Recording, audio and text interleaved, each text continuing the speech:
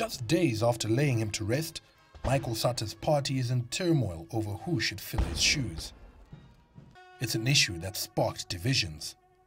Patriotic Front Secretary General Edgar Lungu, the last person vested with the powers of acting president by Sata, seems to be the front runner. But not everyone supports him, including acting President Guy Scott, who earlier this month dismissed Lungu from his post, only to reinstate him after pressure from the party faithful. The internal strife has left some here looking to the future with trepidation. So there are question marks, there are uncertainties about what would happen whether PF, if it lost, would accept defeat. The presidential election is due to be held in January. But who will the Patriotic Front be coming up against?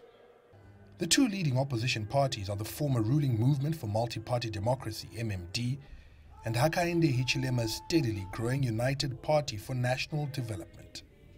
The MMD faces its own crisis over a candidate with former President Rupiah Banda planning to come out of retirement, while current party leader Nevers Mumba thinks now is his time.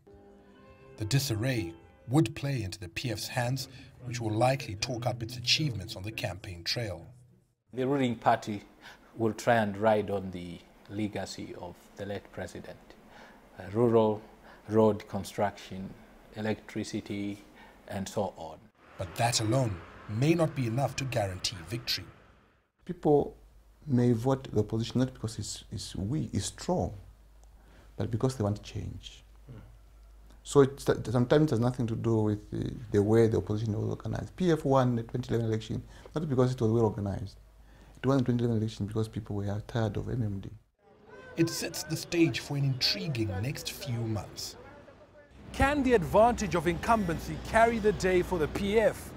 Or will a possible opposition alliance that is being talked about more and more here see yet another change in order in the Southern African nation?